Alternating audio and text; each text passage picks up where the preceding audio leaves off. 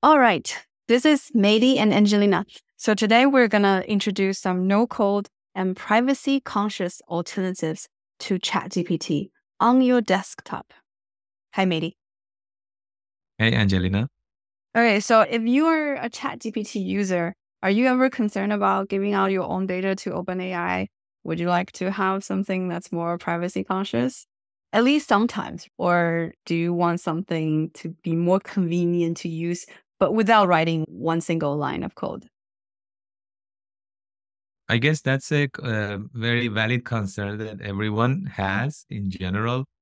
So yes, that's why I guess these open source models came into picture, and then people would rather sometimes use open source models because they can download and use them locally on their own computers instead of talking with cloud based, for example, OpenAI.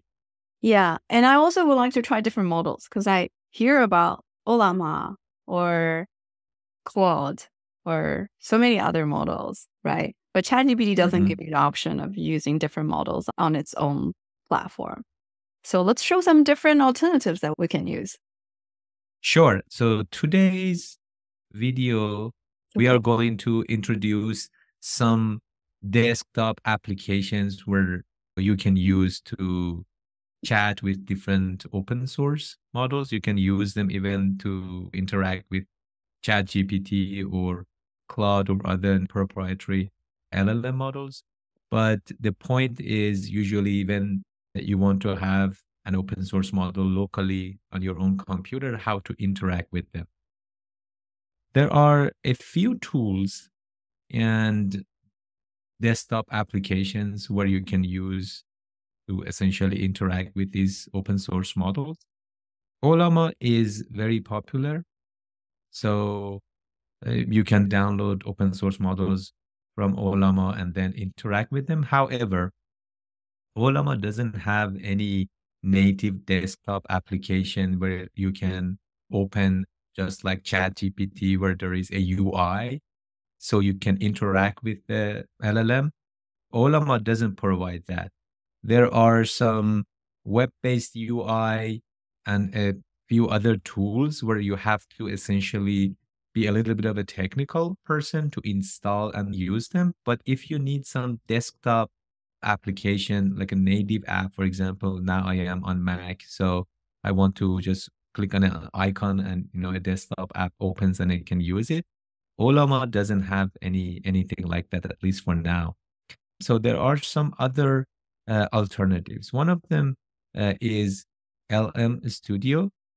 It came out a while ago and it has become very popular. You can download and install it on your system depending on your operating system and then you can for example it has a it has a GUI where you can open and then interact with it you can download different open source models and chat with them so it is essentially like a chat UI so LM is pretty popular it has been on the market for a while but recently I found two interesting alternatives so today I'm going to show you these two tools. One of them is called Chatbox. If you go to their website, they also have a GitHub repo where you can go. You can simply download the app and install it depending on your operating system. I have already installed that. So when you download and install it, you can simply click on the icon and this window pops up. So on the left hand side, you can see like a nav bar where different icons and settings and menus are there. I have already downloaded an open source model, Google Gemma, using Ollama. So you can see the icon up here where it means that Ollama is running. Mm-hmm. And I have already set up Ollama here so you can choose different providers, even if you want to interact with OpenAI, ChatGPT, and other you know, uh, GPT-4. You can use that, or even you know Claude, Azure, and other uh, providers. But the whole point of using these desktop applications is to use open source models locally. So I have selected Ollama, and then in the model drop down list, it shows the models that I have already downloaded on my computer. So you can see I have a few of them, but Gemma, I'm going to choose that one. You can even change other settings like temperature, things like that. There are different even settings here that you can play with them. And now you can start interacting with the model. Okay. So this is now Google Gemma that I am using essentially. Just you can chat with it just like ChatGPT, but it's completely private on your computer. Can you show how you downloaded the model? Because I know you already downloaded, but can you go to Ollama and just show that how to download it? So then you download and install that, you can open your terminal and then you want to download Gemma, for instance, you just type, you know, open terminal and say Ollama run Gemma, and it's going to download that on your computer. Okay. So you can do that for any model. Uh, I think you can probably just download it. If you scroll down, you can probably just download it. See, you can download here. Just click on download here, so you don't have to run it in terminal. Just download it. Yeah, if, or show up. Yeah. Yeah. If you yes, you can also do use this if you don't want to go that way. But the easiest way is just simply right just run this in terminal because it automatically put it inside the path so it is accessible through you know Ollama. Um, but we promise no code, so this count as code. Um, yes. So pro- no code means that it's not extremely technical, but as a computer I'm owner, just kidding. right, you can simply right, open the terminal yeah. and type a command Yes. The idea here, as I mentioned, when there are too many different models out there that you want to try and you need some UI to interact with them, then you need some kind of application to easily do that. And there are a few out there, but I found this Chatbox very appealing. And the UI is pretty simple. Um, configurations are very easy. And then they have already done a bunch of prompts for you for you know for software developer for social media influencer i don't know for markdown. So the thing is when you just um, create any of these uh, co-pilots there is a default prompt where you can change if you want to right? Um, and if you want to create a new one you click on this my co-pilots so you can see these are the default ones, but you can even create your own new Copilot where you just define a, a prompt and then you start interacting with it. So I found this very interesting and easy to use. Other Can we show that, one? Can we show a use case for run getting maybe formulas written for? Let's find a yes. So I, I have already tested that, but you want mathematical formulas. So what is the formula for Fourier transform? And then it write it in like mathematical form so it's like easily readable mm-hmm. for the mm-hmm. humans right? Because it's using this LaTeX syntax. If you want to use the software developer you can see this is the prompt. So it says you are an expert in software developers so on and so forth. And then you can start asking questions. So you can have very special specialized co-pilot by just changing the prompts. As i said it's very easy to use one question how, how is this different from using ChatGPT other than like we're using Google Gemma model? And this is local and private. How about the so, computational experience? It is actually very similar. ChatGPT is just a UI interface, and you can only use it to interact with OpenAI, GPT 3.5 or GPT 4. Here, you can uh, use different models and see how they work in terms of accuracy and how they generate the responses. So this is good when you want to do it for models locally hosted. This is good for open source models. That's a big difference. How do you like the quality of the output, the responses? Is it on par with ChatGPT or close? Quality of the response depends on the model, mm. but based on my own experience, because I have tried different open source models, these are just a few I have deleted a bunch of others. Gemma actually two billion dollar parameter. Sorry, it's two billion parameters. Um, right. So Gemma. That they were so billion much. parameters. Yes, um, is very good.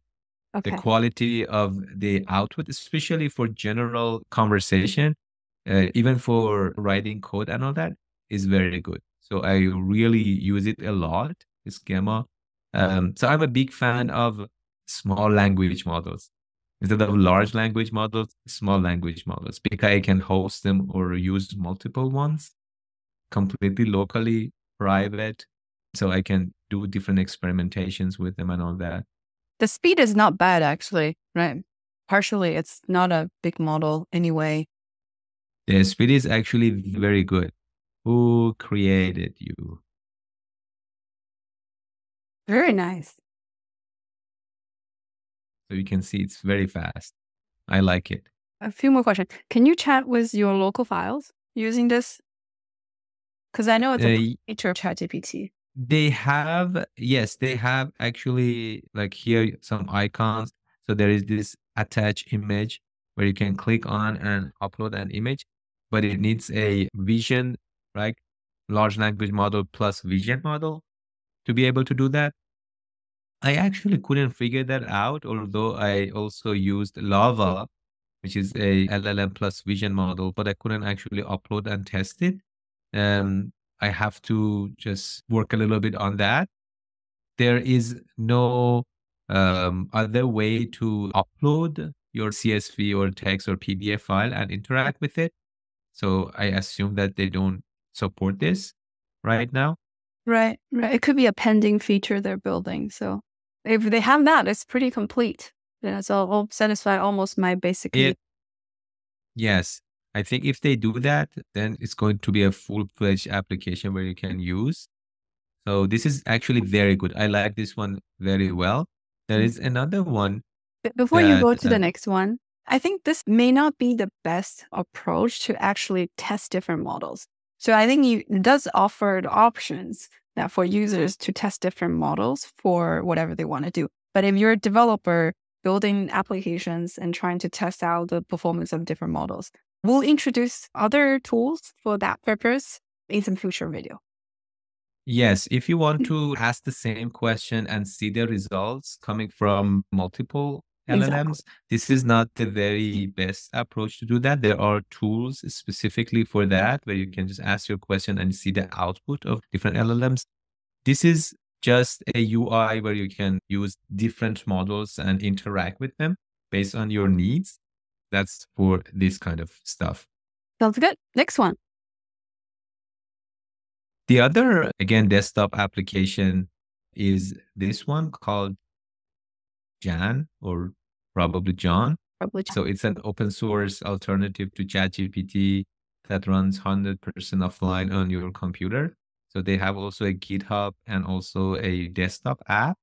I have already installed that one. Let me open that.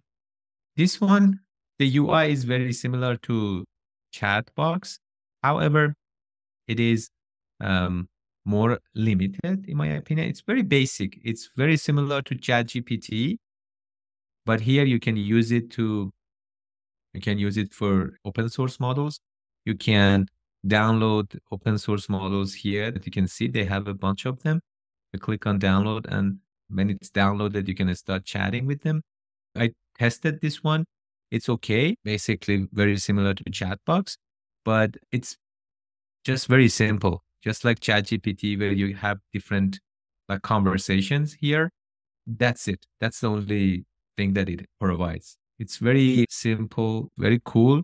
However, I like Chatbox much better than this one, but this is also pretty popular. A lot of people are using it if you want to use open source models. This is another choice that you can make. This is more like a ChatGPT, more of the base version of ChatGPT. Yes. So that's why the look and feel is very similar, but you can use it for open source models. Here, Chatbox it. is more, you know, it provides more feature. I like it Right. better. Awesome. Is this everything that we're introducing today? Yes, that's for this video. The whole point of this video was to introduce a couple of these desktop applications for people uh, Right. if they want to interact with open source models. Yes. Okay, awesome. Sounds good. See you next time, Mehdi. Thank you.